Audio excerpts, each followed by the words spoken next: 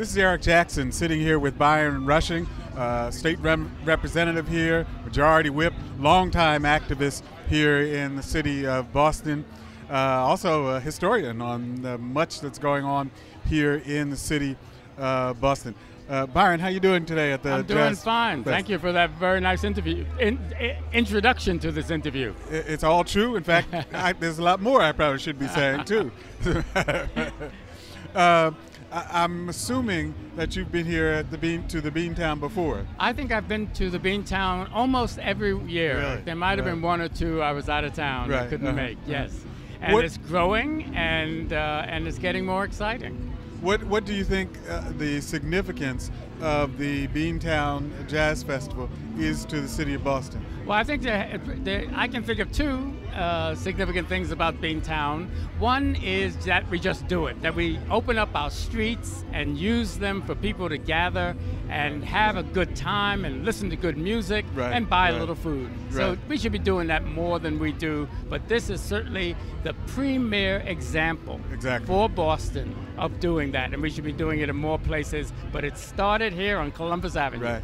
One of the things I, uh, I'm amazed at always is the diversity of the crowd uh, that's here. Could you speak to that? Or, I think that that's right. Of course, of course, it's because of our long history in Boston, both of us, that this that this seems like something new, and that is because it is new. Right, right, And yes, that we have lived in a city that has been so segregated for so long, and and during most of that time that it's segregated, it has been den- in denial about being segregated. Right, that's and true. so uh, in other cities, you see this a lot. Mm-hmm. And uh, in Boston, it is something that has just started happening in the past 15 years. And it's wonderful. And we hope that people who are visiting here don't remember the past and just enjoy the present. Right, and right. the people who are from Right. Boston understand all the things they missed because they didn't have this a long time ago.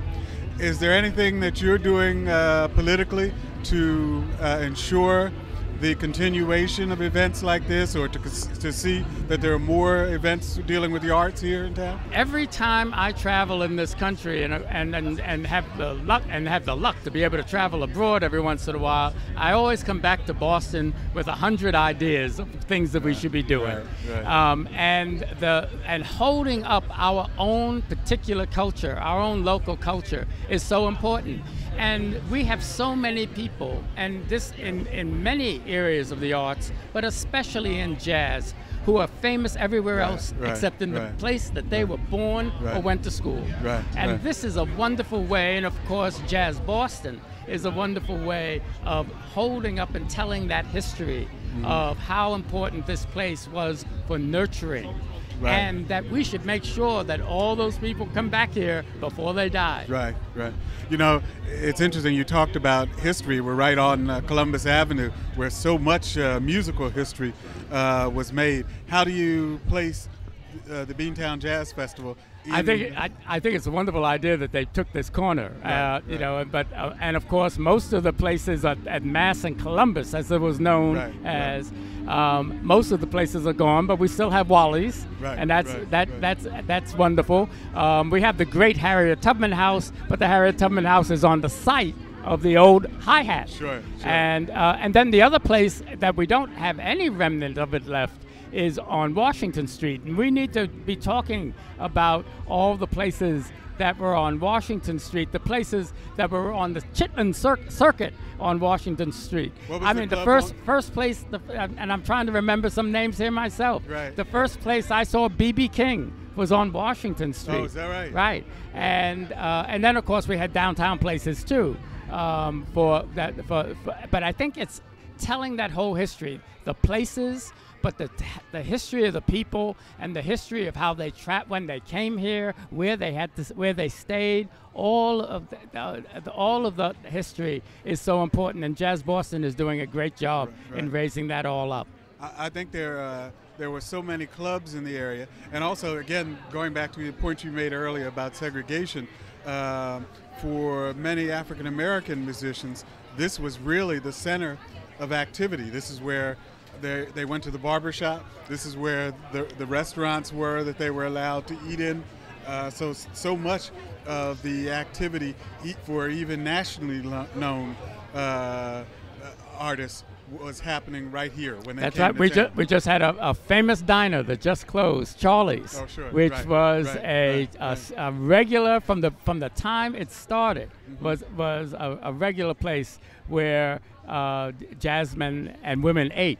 Uh-huh. Right, they would, ju- and they knew they could always come there. There would be no one would say anything. Uh-huh. Right, there would be they, they, they, they, they were going to be just as comfortable. Right. Right, right, Yes, there, right. and and and that's one of the great things about the history of the South End. Uh, and this part of Roxbury is, Uh-huh. is that is that we've had we've always had that welcoming uh, reputation. We're, we're also not too far away from the old after hours joint, the Pioneer Club. Oh, oh, we want to bring it all up. Okay, it's all coming up now.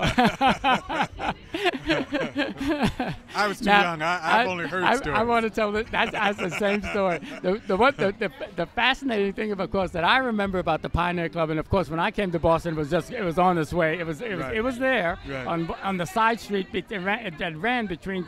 Between Columbus and the what was the railroad tracks Right, then, okay, right? right, Isn't that right, right? right, right. And, uh, and that, of course, they got all taken out when they thought they were going to put I-95 through here. Right, You know, we also need to remind people that we would not have this street to stand on if the community had not stopped the interstate I-95 from coming through Boston. Right, right. Yes, yes, yes, yes, yes. Um, Byron, thank you very much for Uh, well, thank you for all the work you too. do, and Oh, thank it's you, my th- thank you me. for being just one of the great interpreters of jazz for everybody. Believe me, it's my pleasure. Great, Thank you thank very you. much.